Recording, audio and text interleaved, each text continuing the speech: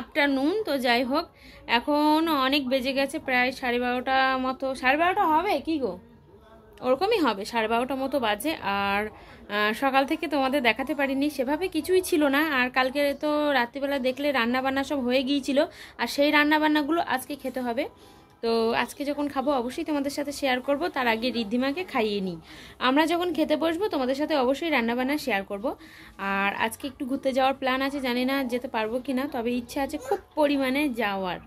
তো চলো, আগে রিদ্ধিমাকে খাইয়ে দিই, তারপরে তোমাদের সামনে আসছি। আর যারা নতুন আমার ব্লগটা দেখছ, তারা অবশ্যই আমার চ্যানেলটিকে সাবস্ক্রাইব করে দাও।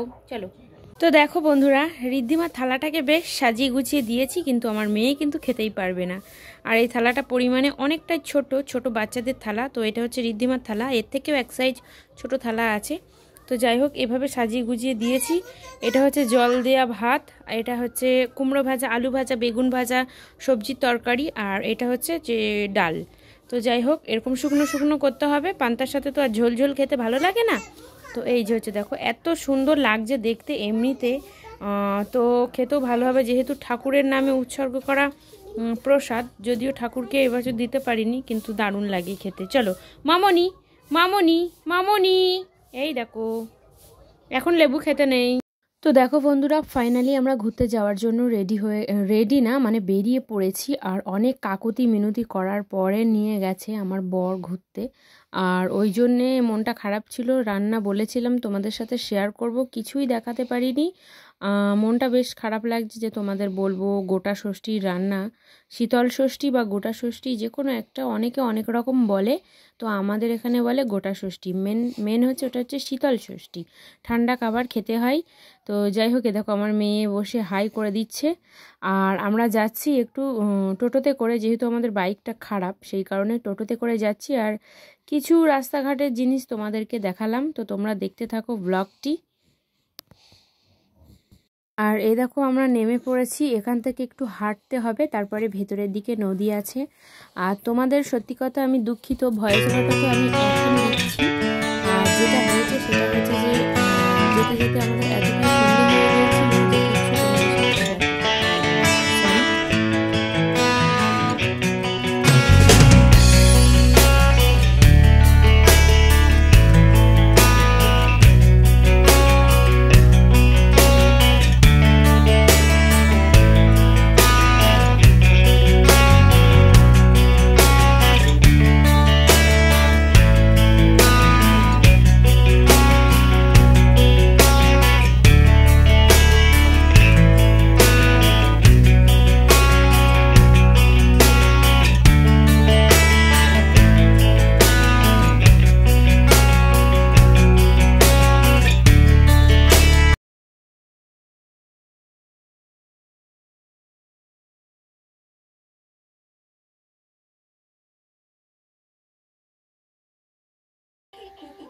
তো বন্ধুরা ফাইনালি আমরা বাড়ি চলে এসেছি আর অনেক আগেই এসেছি।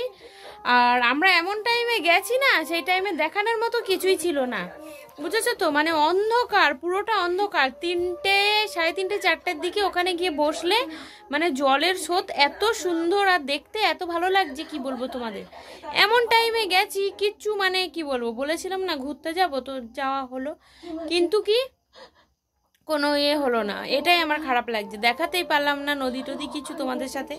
তো ঠিক আছে, পরে একদিন যাব সেই দিন দেখাবো। আর আজকের ব্লগটা একদম সীমিত, একদম ছোট। আর তাছাড়া কি দেখানোর মতো আছে আমি সত্যি কিছু জানি না। আর কাজকর্ম কি, কীভাবে কোনটা দেখাবো মানে কি বলব? তো চলো বন্ধুরা, আমি এখন ড্রেসটা চেঞ্জ করব। মেয়ে মেয়ে নিচে আছে, ওকে একটু খাওয়াতে হবে। আর রান্না বান্না তো কিছুই না, ওই যা আছে তাই আমরা খেয়ে নেব। চলো। রিদ্ধিমা, একবার হচ্ছে তোমার ওই ইয়ে খেয়েছে পান্তা ভাত, তাই আজকে আর ওকে দিলাম না। এবার সর্দি সর্দি করবে বাচ্চা মানুষ তো।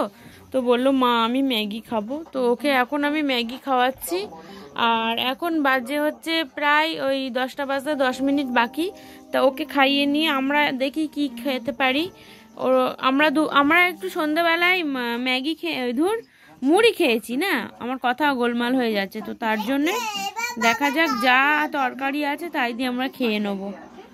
ওর বাবার মশা কামড়াচ্ছে বলে মেয়ে আবার কম্বল দিয়ে দিয়েছে ওর বাবার গায়ে। হ্যালো বন্ধুরা, good morning, welcome back to my channel. বলব কি বলব না ভাবছি। আজকে হচ্ছে শনিবার। কালকের ব্লগটা এখনও শেষ করা হয়নি। আমি এখানে খেয়ে নিয়েছি চা। আজকে ঘুমে থেকে অনেকটা দেরি করে উঠেছি। আটটার সময় উঠেছি। আমার শরীরটা একটু খারাপ আছে। কোমরটা খুব যন্ত্রণা করছে। আসলে সিঁড়ি দিয়ে, আমাদের সিঁড়িটা তো একটু খাড়া টাইপের। নামা ওঠার পক্ষে একটু অসুবিধা হয়, তার জন্যে।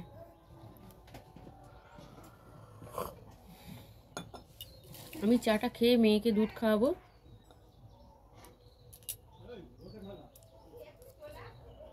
রোজ ব্লগটা ঠিকঠাকভাবে দিতে পারছি না মানে কি? কালকের ব্লগটা কালকে শেষ করে দেওয়ার কথা ছিল, সেটা পারলাম না।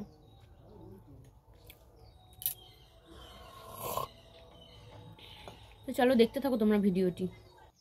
এই যে আমাদের পচা মেয়ে ঘুমের থেকে উঠে, এই যে পুরো গা, পুরো কিছু পড়া নেই, আর এটা কম্বল দিয়ে ঢেকে রেখেছে, আর মিচকি মিচকি হাসছে। কই দেখি এদিক ফেরো একটু। দেখো মিচকি মিচকি হাসছে, পচা মেয়েটা। ক্যামেরাটা এরকম ডিস্টার্ব করছে প্রচণ্ড পরিমাণে। তো যাই হোক, মামনি!